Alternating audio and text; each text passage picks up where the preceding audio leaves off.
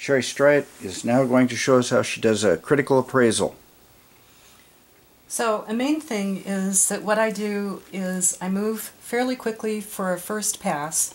So I'm just going to kind of demo that.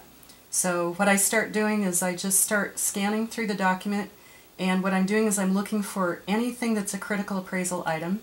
Here they say double-blind, multi-center randomized control, superiority trial, great, but I want to see details so I don't bother to mark that. Here we've got aim. And here we've got a primary endpoint. Okay, again, they're repeating randomized double blind, but I have to actually see what they're doing, but we see it's a multi-center trial.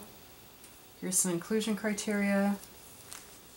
Here's some diagnosis definitional stuff. Exclusion criteria. Okay, computer computerized random number generator, so I'm at random there, and then we see Collins Center, there's concealment of allocation. Baseline characteristics, now I just scan to see if they're similar. I also tend to look for what they've chosen to report. Here we have provided by the manufacturer identical pills, so there's blinding. All study staff, those working with data blinded. Okay, here's a definition of an event. Okay, we've got some measurement information here. Page one.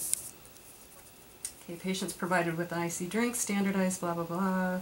So here's the intervention. Okay, episodes are documented during the visit.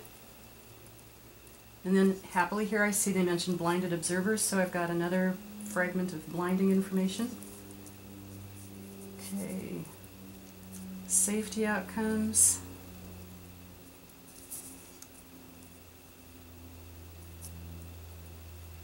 Okay, patients evaluated, there's another measurement item.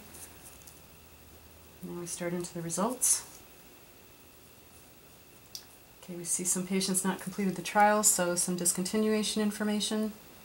And then I take a look and see are the groups similar in terms of patient disposition. If they aren't, that's not necessarily a problem, but that's important information for me.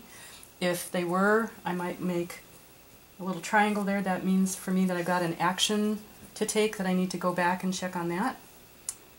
And here we've got the number of events possible, so that's related to re uh, results. More safety information, they're describing the safety population. Okay, they did it appropriately. Here we've got adherence. Summary of the results. Ooh, nice big difference. Okay, here we've got more safety information.